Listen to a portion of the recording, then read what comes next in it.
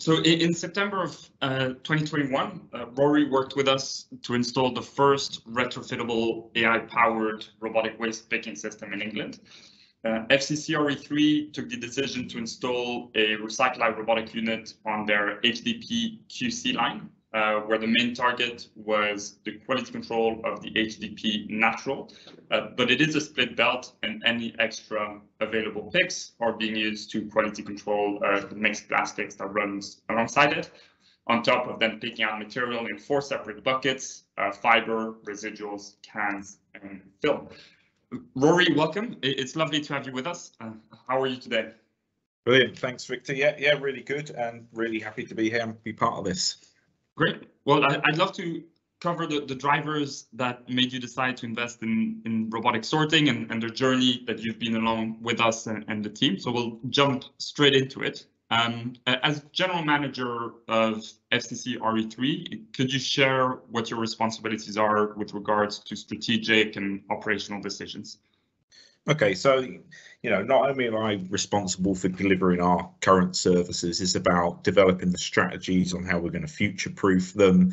You know, how we're going to develop our partnership with the councils, which obviously includes technology. Um, you know, it's about working with them, making sure that we deliver the frontline services and that they're adaptable, um, that we can future-proof, and of course, you know, increasing our recycling diversion performance and minimising environmental impact. Okay, thanks. Um, and what are your initial sort of objections, uh, sorry, uh, objectives when uh, you considered robotic automation in, in the first place? Uh, well, I think one of the things, you know, for FCC and the RE3 partnership is, you know, we're very forward thinking. Um, we're always looking, you know, at new technologies and ones that we can adapt. Um, particularly interested in technologies that can improve the recycling process. You know, and one of our main drivers was about ensuring that we have good material purity, you know, which again helps us get sustainable offtake, future proof that. You know, and if I look back at my now 10 years with with FCC, my previous role as, as general manager for the trading team, which I used to market all of our recyclates, you know, for me, I really see the, the relevance, you know, and the importance of having that that good quality material output from the MRF. You know, and you, you kind of pull all of this together with the capabilities of the robot, and it you know it helps us push and develop that sustainable growth of the business. Okay, and, and, could you share a bit more information on what line the system was was deployed on and, and how that decision was made to, to select that site? Uh, so I think you know one of the things which which was was really good was obviously when we met with you, you know, you and your team came out to the MRF. You know, we done a, a, a, good walk round, a good investigation as to where we thought it would would get the best results. You know, and identifying the plastics line was was where we thought we would get you know really good results. Um, I think as you picked up and mentioned earlier, you know, the, the robot is actually doing quite a lot of work in that plastics cabin. You know, it's a split stream um, line of plastic that comes in. So, so the main focus for the robot is ensuring that the HD natural is is placed on one side of the belt. Um, then making sure that that's you know free of contamination, removing things as such as fibre contamination, making sure the other mixed plastics are are on the, the other side of the belt. So you know, I think we, we saw the real value in in the, what that could do in that particular cabin. Okay. And and had you tried automation at your site before? We we've got automation, but you know, this is the first time we've ever tested robotic picking, so that's why for us this was you know really exciting because it's first time across our our UK business that we've done it. Okay. And and how easy was it to get approval for the project? I think one of the things that that enabled me to get the approval was being able to go to the board with the the data and the information provided by yourselves. You know, particularly that that was demonstrated the the increase in performance, which obviously drive, drives financial benefits. You know, and I think one of the the other key things was how this aligns with our company value of being forward thinking you know, and actually, you know, that our overall strategy of, of being ready for the future and, and being prepared for that, you know, and we felt this technology would help us, you know, do that and be relevant now as well as being able to adapt for the future. Okay. Could you perhaps talk the audience through how the installation went for you?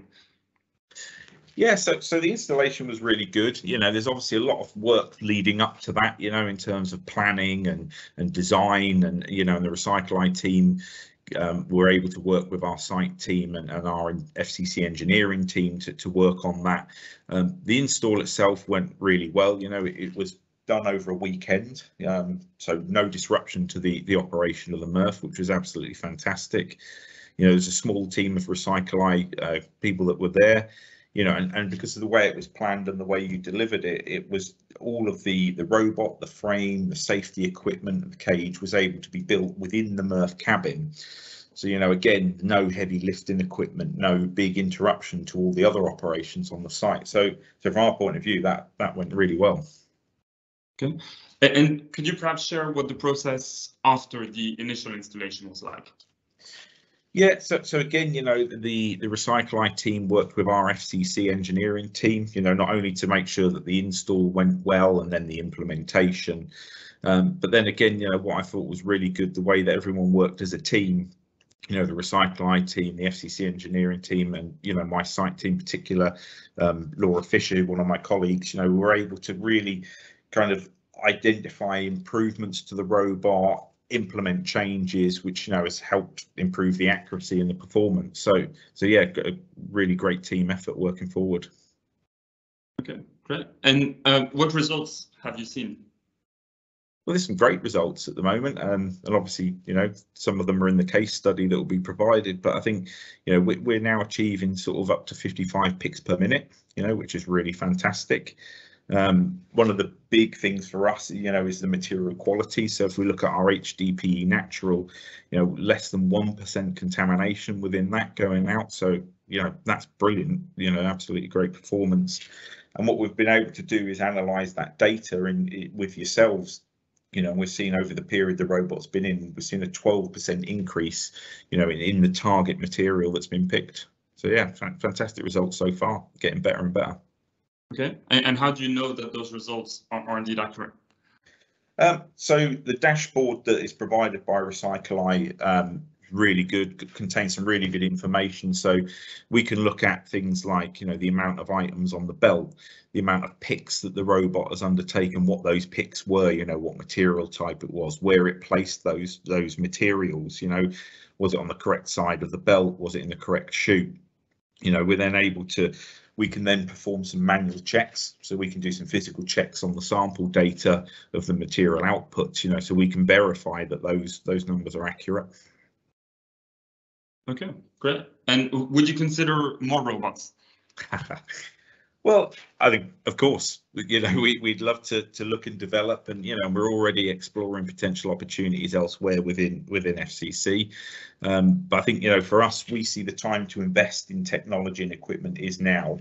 Um, but what I would say, you know, it's absolutely vital that we get clarification from the government on their consult consultations for DRS, consistent collections, because what will that enable us to do? We, we can then really assess and target the investment that we need to make sure that we are putting the right equipment that's that's not only relevant now, but relevant for the future as well. Okay, great. And what's next for you? Um, well, I think you know, picking up on what what we've been saying, you know, obviously being forward thinking, we're we're we're always concentrating on the future, what it'll bring. You know, we're looking at the potential new materials such as flexi plastics, those sorts of things. You know, it's about working with our local authorities to make sure that you know they're able to adapt and be ready for the potential changes from the resource and waste strategy. Um, you know, how do we develop our frontline services? What technology we're going to use for that? You know, and yeah, let's hope it would be really great if we could develop more robotics and, and continue our partnership together.